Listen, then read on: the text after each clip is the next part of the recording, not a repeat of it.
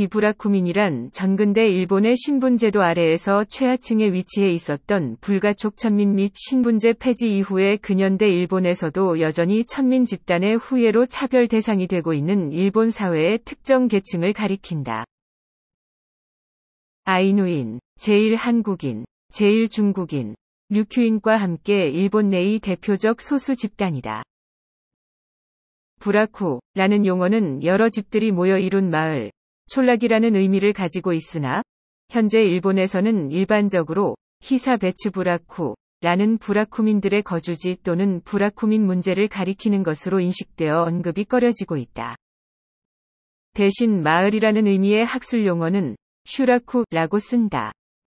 앞서 언급한 바와 같이 부라쿠민의 집단 거주지는 히사베츠 부라쿠, 부라쿠민은 피차 별부락민 또는 피차 별부락 출신자라고 부른다. 특수부락이라는 용어도 쓰였으나 오늘날에는 부적절한 용어로 여겨진다. 에도시대 이전에도 천민에 해당하는 신분 계층은 있었으나 구체화된 것은 에도시대 이후였다. 에도시대 신분제도는 병농공상의 4단계 구분이 있었으며 이 신분은 세습되었다. 그런데 이 4단계의 신분 어느 것에도 들지 못하는 신분이 있었으니 이는 주로 천시되는 직업에 종사하는 신분이었다. 이 신분은 다시 두 가지 계층으로 나뉘었는데 에타라는 계층은 가축의 도살, 형장의 사형 집행인, 피역 가공 등의 직업에 종사하는 사람이었다. 에타, 위, 에는 즉 더러움을 뜻하며 문자 그대로 더러운 일에 종사하는 사람이라는 뜻의 브라쿠민에 대한 멸시의 감정이 담긴 표현이었다. 이는 불교의 영향으로 살생을 업으로 하는 일을 꺼렸던 일본인의 인식을 대변하는 것이었다. 또 다른 계층은 흰인으로 불렸는데 주로 사형 집행 보조인 및 그 관할하에 거린 육류 납품 판매업, 죄인 및 시체 매장, 도로 청소, 사찰의 종자, 광대 등 여러 직업군의 사람들이 속하였다. 흰인, 은 불교 용어로서 사람이 아닌 것이 사람의 형상을 하고 있다. 라는 뜻의 차별적 단어이다. 에도 시대의 이들은 영주의 관할하에 따로 모여 살면서 특정 직업군에 종사하여 다른 신분과 분리된 일종의 개토를 형성하였다. 메이지 신정부 수립 이후에 일본 정부는 세금 징수를 위해 부라쿠민 해방령을 공포하여 산업공상의 신분제를 철폐하는 동시에 그때까지 에타, 흰인으로 불리고 있었던 천민 집단에 대해서도 일반 국민의 지위를 부여하였다.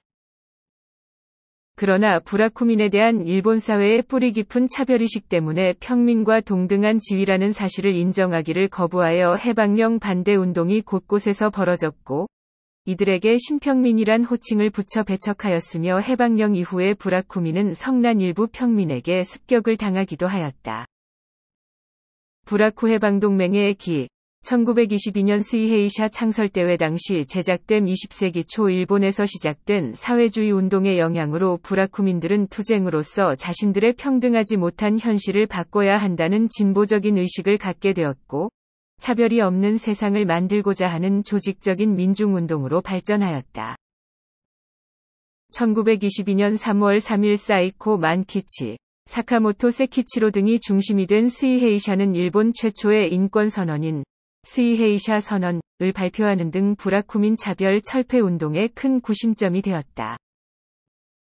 스이헤이샤 창설대회 당시 부라쿠민들은 깃발에 피차별 계급인 자신들의 아픔과 차별 없는 세상을 만들려는 의지를 뜻하는 예수의 가시면류관을 그려넣었으며 죽창을 깃대로 사용하여 투쟁 의지를 보여주었다.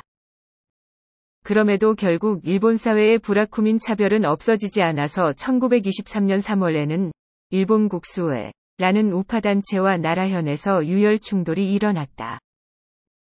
이 사건은 누군가가 부라쿠민을 차별하는 말을 한 사건이 발단이 되었는데 국수회 회원이 일본도와 권총으로 스이헤이샤를 위협하면서 유혈 충돌로 이어진 것이었다.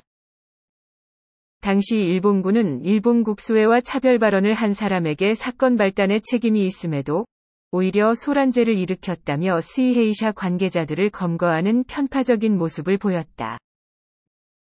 브라쿠민기는 브라쿠민이 불교를 기반으로 하는 인종차별이라는 것에 착안하여 불교에 대항하기 위해 기독교를 기반으로 예수가 썼던 가시 면류관을 그 상징으로 삼아서 만들었다.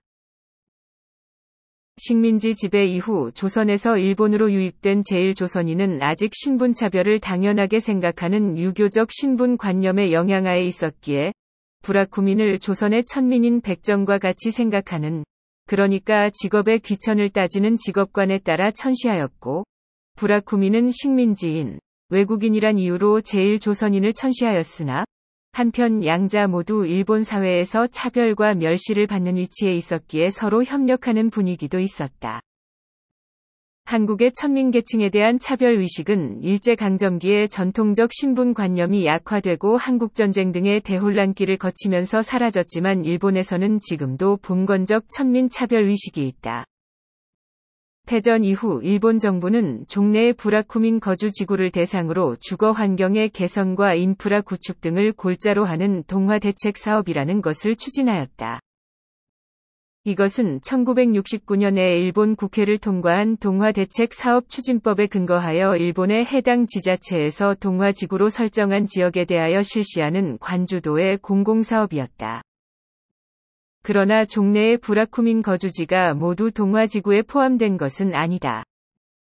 일본 경제의 급성장과 정부 주도의 노력 등으로 브라쿠민 거주지의 주거 환경은 상당 부분 개선되었으나 지금도 일본에서는 피차별 브라쿠민 출신이라는 이유로 취직과 결혼 등 사회에서의 불이익, 즉 차별을 당하거나 사람들이 이들에 대해 일반화된 편견과 선입견을 가지고 바라보는 등 민감한 사회 문제로 받아들여지고 있다.